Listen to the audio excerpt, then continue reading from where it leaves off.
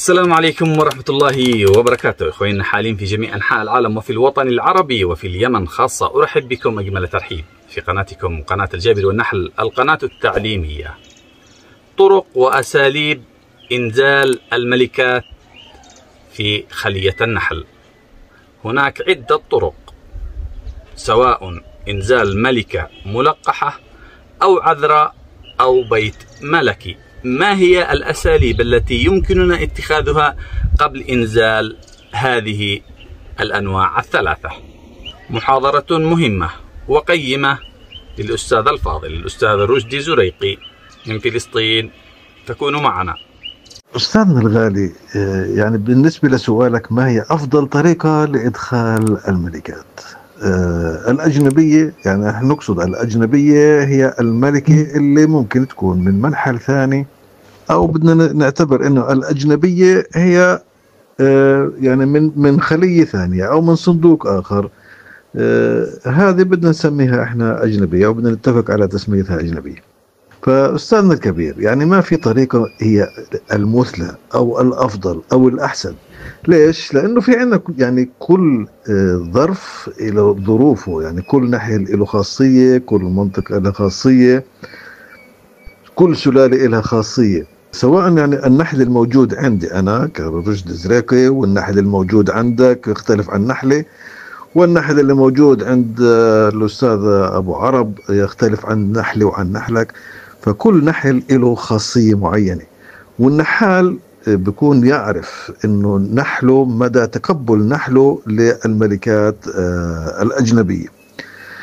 فربما يكون هذا النحل اللي عنده شرس وإن لم يكن شرس فهو بما إنه النحل الموجود عندنا ليست سلالات أصلية. أنا شخصيا ما في عندي سلالة نقية آه، نهائيا. كله آه، تركيبات وكله تقاطعات وكله يعني نقدر نسميه هجائن ما في عندي سلالة أصلية. لكن أنا بعرف أنه نحلي مدى تقبله للملكات الأجنبية سواء كانت الملكات العذارى أو الملكات الملقحة. لكن خلينا نحكي في الموضوع بشكل عام. آه، أكثر شيء ممكن أنه يتقبله النحل هو البيت الملكي. فلو عندنا ملكة عفوا لو عندنا خلية آه، بدنا نتخلص من ملكتها لسبب ما الملكة ضعفت الملكة كبرت بالعمر الملكة ما أعطتنا إنتاج كويس وبدنا نتخلص من هاي الملكة إذا بدنا نقدم لها غذاء عفوا بدنا نقدم لها بيت ملكي. البيت الملكي ممكن إضافته مباشرة يعني بتقتل الملكة اللي بدك تتخلص منها. وبتنزل البيت الملكي. ونسبة القبول فيه تقريبا مئة بالمئة وهذه الطريقة يعني اشتغلت عليها لفترة طويلة وعدة مرات. فأنا يعني لما بعمل تقاسيم وبتكون عندي البيوت الملكية جاهزة للنقل مباشرة بعمل التقسيمة وبدخل عليها البيت الملكي مباشرة ولا ساعة تيتيم. لأنه البيت الملكي هو مثل الحضنة المغلقة أو الحضنة المفتوحة بيقبلها النحل في أي وقت وبكل سهولة. المرتبة الثانية من قبول النحل للملكات إنه يكون ملكة ملقحة. فالملكة الملقحة برضو قبولها أسرع. فإذا أنا بدي أضيف ملكة ملقحة إلى آه، نحل ميتم يعني بدي بكون بدي يكون أنا أعرف النحل اللي عندي وكم الفترة اللي ممكن إنه آه، يقبل فيها النحل هذه الملكات بعض السلالات قد تحتاج إلى ثلاث أيام أو أربع أيام حتى تقبل الملكة الملقحة. لكن بالنسبة للنحل الموجود عندي أول يوم بيتم الملكة ثاني يوم بدخل الملكة الملقحة بقفص باليوم الثالث بفرج عن الملكة وبتبدأ يعني تقريبا في وضع البيض بنفس اليوم أحيانا. يعني إذا فرجت أفرجت عنها الساعة 9 الصبح الساعة آه 12 الساعة واحدة بتكون الملكة بدأت في وضع البيض. مش كل الملكات طبعا بعض الملكات تبدأ في وضع البيض بنفس اليوم بعض الملكات تبدأ في وضع البيض باليوم الثاني أو ربما اليوم الثالث. حتى لو يتمنا الخلية مباشرة وأدخلنا عليها الملكة الملقحة مباشرة ممكن أنه بعد 24 ساعة نفرج عن هذه الملكة ولكن يعني بنرجع بنقول أنه في اختلاف في سلالات النحل ما بين القبول حتى الهجائن في بينهن اختلاف. فلذلك أنا ده بقول إنه النحال هو بيعرف نحله لأنه بيشتغل في نحله وبيعرف آه، يعني بدخل ملكات عذارة بدخل ملكات ملقحة بدخل بيوت ملكية على نحله وهو يعرف تماما متى يمكن أن آه، النحل الموجود عنده يتقبل الملكات. آه، نعود موضوع الملكات العذراء.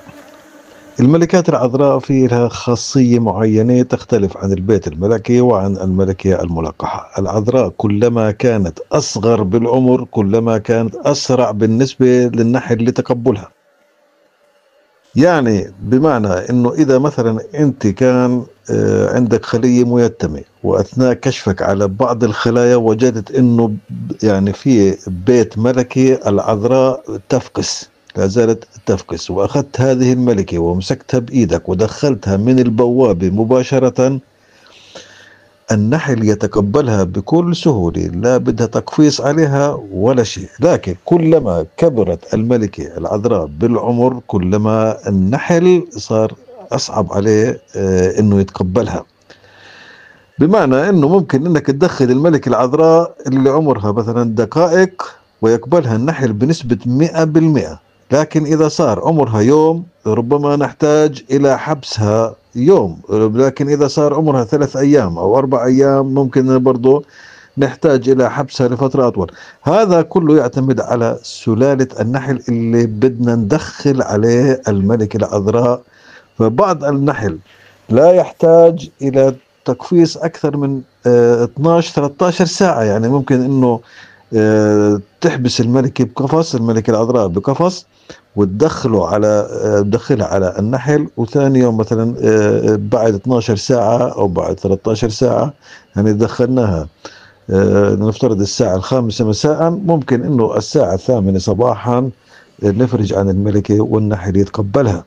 لكن في بعض السلالات من النحل ربما تحتاج إلى يعني أن تبقى الملكة العذراء مقفص عليها إلى أكثر من 24 ساعة رغم أنه أنا ضد حبس الملكات العذارى أكثر من 24 ساعة.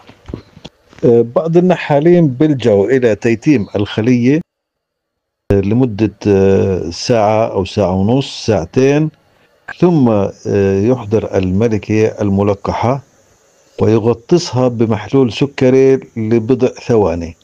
يعني ممكن ثلاث ثواني أربع ثواني ويخرجها من آه، المحلول السكري ويدخلها من البوابة مباشرة بدون تقفيص بدون أي شيء.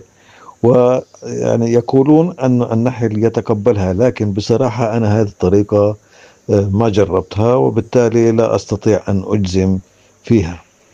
لكن ما أستطيع أن أجزم فيه أن أنا كنت أنقل الملكات الملقحة عن طريق آه، العطر.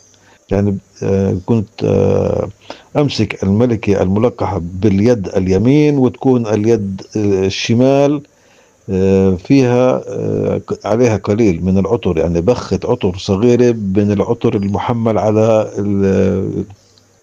السبيرتو أو يعني الكحول. بخة صغيرة هيك وبنمسح الإيد بحيث إنها تنشف من الكحول ولكن تبقى الرائحة. بمسك الملكة باليد اليمين. بحطها باليد الشمال مباشرة يعني بظل رايح فيها مباشرة على الخلية اللي أنا بدي أدخلها عليها. فلما بتصل بتكون اكتسبت رائحة هذا العطر وبتدخل بكل سهولة وبساطة على النحل والنحل لا يقترب منها ولا يحاول إنه يقتلها نهائيا ما بيحاول إنه يعتدي عليها. لكن أنا هاي الطريقة يعني آه، قالوا بعض الإخوان إنه ربما قد تؤثر على هذه الملكة إنه رائحة العطر أو الكحول إنه ممكن تأثر على آه، الملكة قد تصيبها بشيء ما وبالتالي آه، يعني نصحوني بأني ما أستخدم هذه الطريقة رغم إني ما كنت أشوف فيها أي عائق نهائيا. فاتني إن أذكر هذه النقطة وهو ندخل هذه الملكات الأجنبية على نحل حاضن فقط.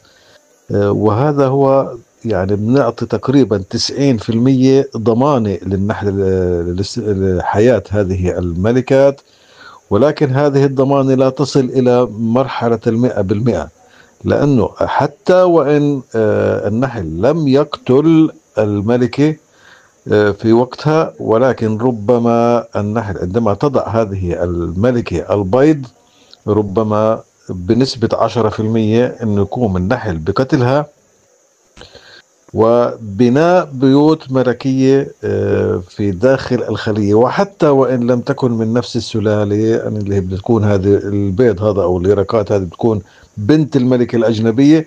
ولكن النحل عادة يعني يميل إلى ابن العشيرة أو بنت العشيرة يربي ملكاته منها.